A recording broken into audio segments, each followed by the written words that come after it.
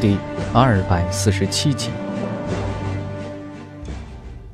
闭眼金雕吃痛之下，爆发出强大绝伦的力量，他的双爪与双翅轰然下击，无穷无尽的远古凤力如火山喷发。在这种可怕之极的力量之下，紫毛杰都无法接得下。怪叫声中，被闭眼金雕的双翅拍飞到千丈之外，浑身的毛发都燃烧了。见到闭眼金雕发飙，张野倒抽了一口冷气，连忙施展出身法，远远的退到千丈之外，离开这头发疯的闭眼金雕。闭眼金雕内脏被尖头虻疯狂的破坏，发出尖利的叫声，同时全身都腾起了熊熊的烈火。这种烈火乃是远古凤力所化，它能够轻易的点燃石头。张野站在千丈之外，头发都被烤得火星点点，随时都有可能燃烧起来。看着闭眼金雕发出火焰。张野心里微感疑惑，这种火焰应该是闭眼金雕最厉害的手段了。他发出火焰来，到底想干什么？张掖的念头还没有落下，就见到闭眼金雕嘴巴陡然张开，将这种熊熊的烈火硬生生的吞入到肚子之中。看到闭眼金雕的这个举动，张掖心里。总算是明白了过来。原来闭眼金雕打算用烈火将尖头盟烧死。不过，闭眼金雕的火焰再厉害，即使将尖头盟烧死，他自己也不会好过呀。火焰进入闭眼金雕的肚子，种种怪声顿时从闭眼金雕的肚子中发出来。闭眼金雕。虽然能够发出可怕的火焰，但内脏乃是他的薄弱之处，被这种可怕的火焰烧到，痛苦到了极点。而在闭眼金雕肚子里疯狂钻动的尖头虻，被火焰一烤，也是痛苦异常，更加疯狂地钻动起来。钻，尖头虻疯狂地钻动着，要将闭眼金雕的身子钻出一个洞。逃离这种可怕的火焰，烧！闭眼金雕疯狂地催动火焰，要将这只可恶的尖头虻活生生地烧死，以解心头之恨。闭眼金雕痛苦之下，庞大的身形疯狂地撞击着地面，无穷无尽的力量轰击着地面，撞得方圆千里都微微晃动。一道道可怕的火焰烧红了半边天空，梧桐树在这种火焰之下纷纷燃烧起来。方圆百丈的石头都被烧成了通红的岩浆。张掖一退再退，一直退到了十里之外，方才站住了脚。一炷香之后，山谷中终于平静了下来。张掖慢慢的返回山谷之中，只见闭眼金雕奄奄一息的躺在地上，庞大的身躯发出阵阵烤肉的香味金色的羽毛和鲜红的鲜血散落了一地，而在闭眼金雕的旁边躺着一只小小的怪兽，正是尖头虻。尖头虻与闭眼金雕竟然。两败俱亡，紫毛杰也飞身而至。闭眼金雕还剩下最后一口气，见到紫毛杰与张掖，目光中闪过一丝暴戾之色，全身的羽毛竟然竖了起来，就要发出最后的一击。这时候，紫毛杰一声不吭的扑上去，爪子轻轻的一挥。正好击中了闭眼金雕的头部，闭眼金雕挨了紫毛杰一击，顿时头部破碎，当场身死。打死了闭眼金雕，紫毛杰朝着尖头蒙掠去，打算将尖头蒙吞噬。张掖这时候微微的摆了一下手，说道：“如果没有尖头蒙，我们恐怕就要死在闭眼金雕的爪子下了。这只尖头蒙也算是救过我们一命，你就不要吃它了。”张掖的手掌轻轻一挥，尖头蒙的尸体飞了起来，落入了一滩火红的岩浆中，眨眼就在岩浆中消失不见了。处理了尖头蒙，张掖呼呼的击出两拳，拳力化成了两道巨大的龙卷风。强劲的龙卷风眨眼间就在地面上挖出了一个水池，然后凌空击出一拳，将闭眼金雕的尸体移到了水池边，让闭眼金雕的鲜血流入到水池之中。闭眼金雕虽然被火焰烧得半熟，但身上还是有着不少鲜血的。闭眼金雕的鲜血带着一种淡淡的金色，就像是流动的火焰。里面蕴含着浓郁的先天真气和丝丝远古凤力。站在十数丈外，都能够感觉到一股淡淡的威压。遥遥的感应着鲜血中的远古凤力，张烨脸上露出一丝喜色，说道：“紫毛杰，这只闭眼金雕的肉归你，鲜血归我。”紫毛杰点点头。张烨进入到水池中。让闭眼金雕的鲜血浸泡着身子，随后缓缓的运转着功法，开始吸收鲜血中的远古凤力。凤凰乃是上古的神兽之一，发出来的火焰能够焚山煮海，威力大的不可思议。更厉害的是，凤凰又有着不死凤凰之称，只要还剩下一丝气息。他们都能够涅槃重生，重新获得强大的生命力。凭着这两种能力，凤凰族成为蛮荒至强种族，雄霸一方。凤凰修炼的力量就是凤力，龙力像是水一般柔和而充满变化，凤力则像是火一般霸道而活跃，就像是一团炽烈燃烧的火焰。张掖刚刚运转功法，一丝远古凤力就涌入到身体中，在经脉之中横冲直撞，差点就让张掖吐血。张掖忍受住远古凤力带来的痛苦，默默运转着远古凤力，炼化着鲜血中的远古凤力。远古龙力与远古凤力乃是天生一对，以龙力炼化凤力，效率非常之高。只是短短的一天时间，张烨的体内就多出了十多丝远古凤力。远古凤力进入到张烨的身体之后，开始慢慢的淬炼张烨的筋骨和经脉。凤凰能够涅槃而生，一个原因就是他们修炼的是玄妙无比的凤力。凤力霸道之极，却又蕴含着生机。能够让涅槃的凤凰重新获得生命。用远古凤力淬炼身体，无疑有着极大的好处。噼啪，噼啪，在远古凤力的淬炼之下，张掖的筋骨和经脉之中发出种种的清脆的声音。残留在筋骨和经脉中的杂质被远古凤力剔除出去，筋骨和经脉变得越来越强悍。越来越柔韧。好，好，好！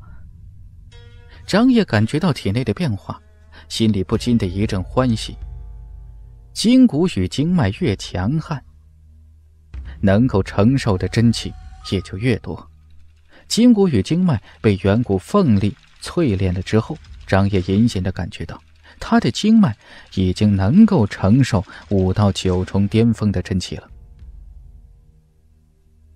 既然经脉已经能够承受五到九重巅峰的力量，那么我就要进入到五到九重巅峰去。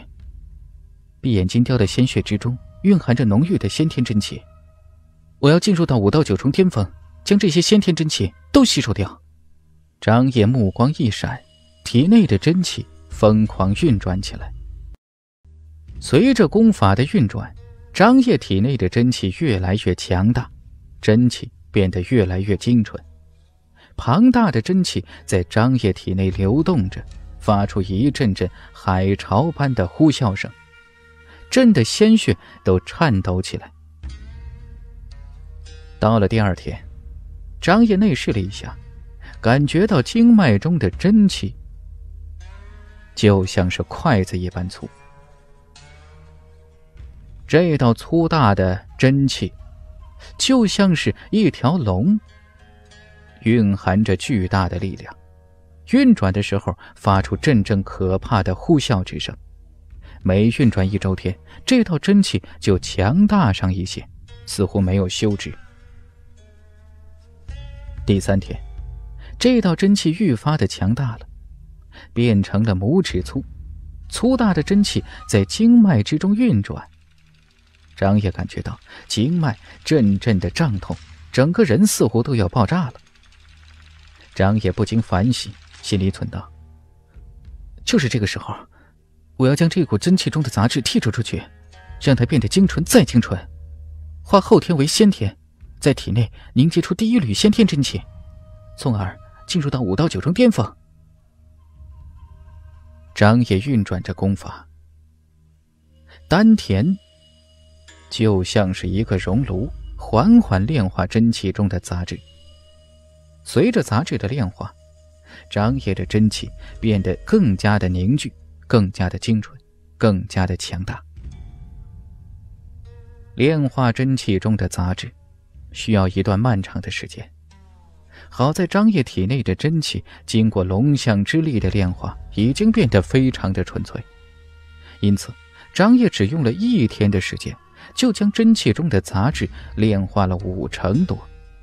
运转在张掖体内的真气清澈而强大。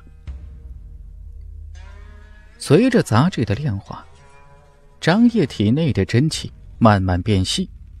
原来拇指大小的真气变成了筷子大小，又从筷子大小变成了草茎大小。真气中的杂质被张掖炼化了六成时。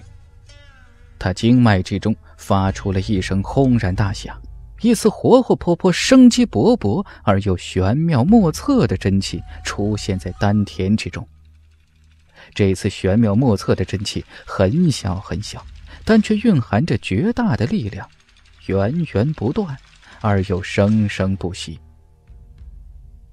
先天真气，张掖终于化后天为先天。修炼出了第一缕先天真气，进入到五到九重巅峰。张野缓缓的张开眼，自言自语的说道：“终于进入到五到九重巅峰了。现在距离三月之期还有五天，在这五天的时间里，我要借着远古凤力之威，冲击一下龙象宫第六层后期。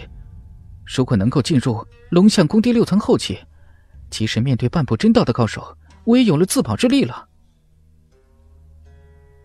张也闭上眼睛，继续修炼起来。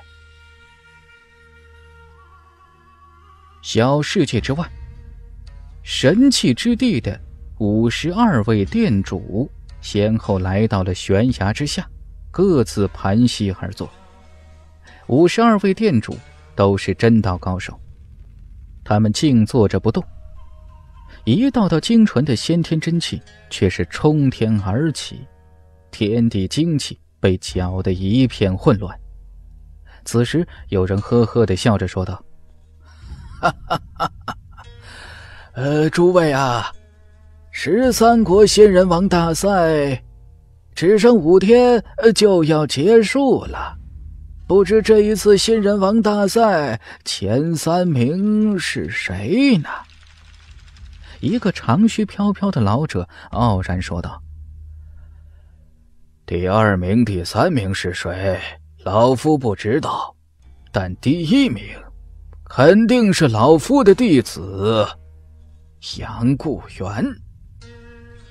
杨固元的九天十地焚天真境已经修炼到了大成之境，打遍年轻一辈无敌手。这次十三国仙人王大赛第一名，非他莫属。这个长须飘飘的老者，正是杨固元的师傅，大平国真殿的大殿主杨破山。杨破山话音刚刚落下，一个灰衣老者就出声了：“哈哈哈哈！